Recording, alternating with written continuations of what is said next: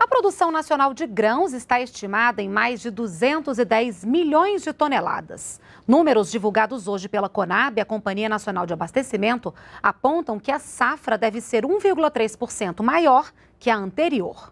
O principal destaque é a produção de soja, que deverá atingir 101 milhões 200 mil toneladas, 5 milhões a mais do que na safra anterior, graças aos ganhos de área de plantio e de produtividade. Nós precisamos melhorar a agregação de valor na nossa exportação de soja. E um componente que atrapalha muito isso é a questão do ICMS. Essa variação do ICMS no Brasil atrapalha e muito, pois tributa a soja quando ela é processada e tem que ser transportada de um estado para o outro. E ninguém quer comprar, ninguém quer importar imposto. Então nós estamos muito é, esperançosos de que a votação no Congresso Nacional, que vai regulamentar todo o ICMS no Brasil, possa ajudar ainda mais as nossas exportações, não só primárias, mas que nós possamos industrializar e exportar boa parte da soja brasileira sem imposto.